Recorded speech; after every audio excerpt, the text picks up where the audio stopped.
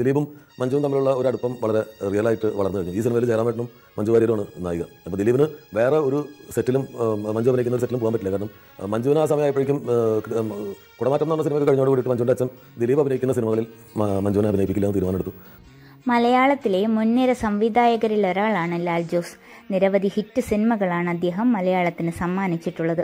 വർഷങ്ങളോളം സംവിധായകൻ കമലിനൊപ്പം സഹസംവിധായകനായി പ്രവർത്തിച്ച ശേഷം ആയിരത്തി തൊള്ളായിരത്തി തൊണ്ണൂറ്റെട്ടിൽ ഒരു മറവത്തൂർ കനവ് എന്ന ചിത്രത്തിലൂടെയാണ് ലാൽ ജോസ് സ്വതന്ത്ര സംവിധായകനായി മാറുന്നത്.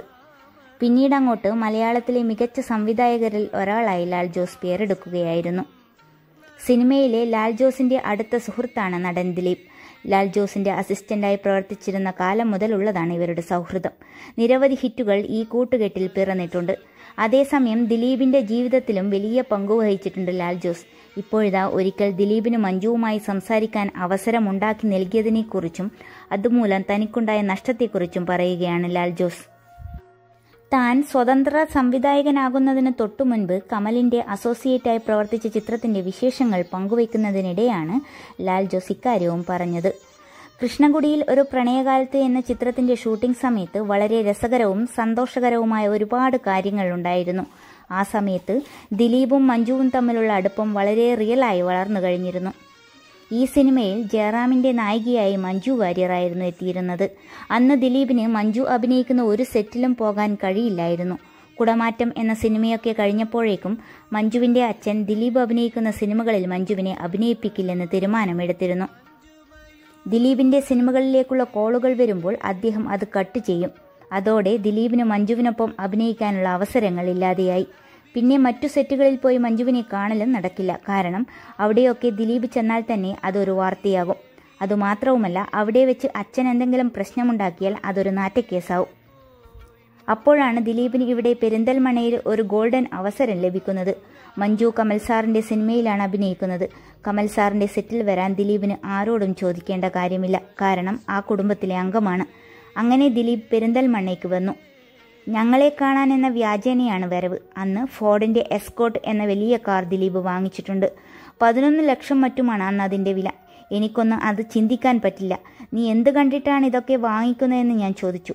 അത് കുഴപ്പമില്ല ലോൺ ഉണ്ടല്ലോ എന്നാണ് ദിലീപ് പറഞ്ഞത്. ഇത്തരം കാര്യങ്ങളിൽ വല്ലാത്തൊരു ധൈര്യമാണ് ദിലീപിന്. പക്ഷേ നമ്മുടെ ഇടയിൽ ഒരാൾ അത്രയും വലിയ കാർ വാങ്ങിയതിൽ സന്തോഷമുണ്ടായിരുന്നു.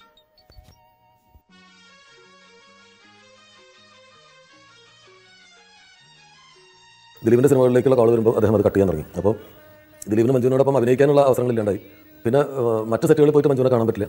കാരണം അവിടെ ദിലീപ് ചെന്നാൽ തന്നെ അതൊരു വാർത്തയും കാര്യങ്ങളൊക്കെ ആവും. മാത്രമല്ല അവിടെ വെച്ചാൽ ഇദ്ദേഹം എന്തെങ്കിലും പ്രശ്നം ഉണ്ടാക്കി കഴിഞ്ഞാൽ അതൊരു നാട്ടക്കേസായി മാറുകയും ചെയ്യും. അതുകൊണ്ട് ദിലീപിന് അവിടെ പോയി കാണാൻ പറ്റില്ല. അപ്പോഴാണ് ഒരു ഗോൾഡൻ ഓപ്പർച്യൂണിറ്റി ഇവിടെ ഷർണ പെരുന്തൽമണ്ണയിൽ കമൽ സാറിന്റെ പടത്തിൽ അഭിനയിക്കുന്നത് കമൽ സെറ്റിൽ ദിലീപിന് വരുന്നതിന് ആരോടും ചോദിക്കേണ്ട. കാരണം ആ കുടുംബ അംഗമാണ് അങ്ങനെ ദിലീപ് പെരിന്തൽമണിക്ക് വന്നു. ഞങ്ങളെ കാണാനെന്ന വ്യാജേന വന്നു. പക്ഷേ ഞങ്ങൾക്കുണ്ടായ വലിയ സന്തോഷം ആ സമയത്ത് എന്താണെന്ന് വെച്ച് കഴിഞ്ഞാൽ ഫോർഡിന്റെ മാരുതിയൊക്കെ വന്നിട്ട് ഇങ്ങനെ തകർത്ത് നിൽക്കുന്ന സമയത്ത് ആദ്യമായിട്ടൊരു വലിയ വണ്ടി ഫോർഡിന്റെ എസ്കോട്ട് എന്ന് പറഞ്ഞ ഒരു കാർ വലിയ കാർ ഒരു മെറ്റാലിക് ബ്രൗൺ കളറിലുള്ള ഒരു മെറ്റാലിക് മെറ്റാലിക് ഷെറി കളറിലുള്ള ഒരു ഫോർഡ് എസ്കോട്ട് കാർ ദിലീപ് മേടിച്ചു. അപ്പോൾ എനിക്ക് ചിന്തിക്കാൻ പറ്റില്ല പതിനൊന്ന് ലക്ഷം രൂപ മറ്റാണെന്ന് അതിന്റെ വില.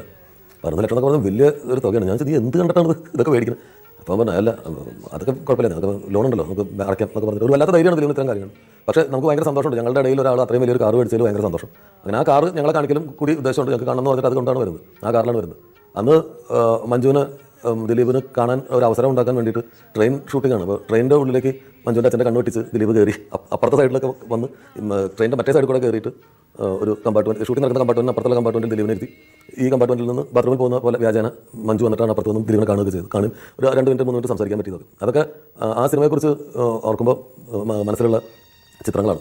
പിന്നീട് മറവത്തൂർ കനവ് എന്ന് പറയുന്ന സിനിമയിൽ മഞ്ജു ആയിരുന്നു ശരിക്കും ആ അത് മഞ്ജു അഭിനയിക്കാതിരിക്കാൻ കാരണം ഈ കൃഷ്ണകുടിയിൽ ദിലീപിന്റെ ഷൂട്ടിംഗ് സമയത്ത് ദിലീപ് വന്ന് ട്രെയിനിൽ വെച്ച് മഞ്ജുവിനെ കാണാനുള്ള അവസരം ഒരുക്കിയത് ഞാനാണെന്നുള്ള വൈരാഗ്യത്തിലാണ് മഞ്ജുവിന്റെ അച്ഛൻ പിന്നെ മഞ്ജുവിനെ മറവത്തൂർ കനവിൽ അഭിനയിപ്പിക്കാതിരുന്നത്. ഒരു ചെറിയ കുസൃതിക്ക് എനിക്കാണ് വില കൊടുക്കേണ്ടത് ആ കാർ ഞങ്ങളെ കാണിക്കാനുള്ള ഉദ്ദേശത്തിൽ കൂടിയാണ് വരുന്നത്. അന്ന് ദിലീപിനെ മഞ്ജുവിനെ കാണാൻ ഒരു അവസരം ഉണ്ടാക്കാനായിട്ട് ട്രെയിനിലെ ഷൂട്ടിങ്ങിനിടയ്ക്ക് മഞ്ജുവിന്റെ അച്ഛന്റെ കണ്ണു വെട്ടിച്ച് ദിലീപ് കയറി.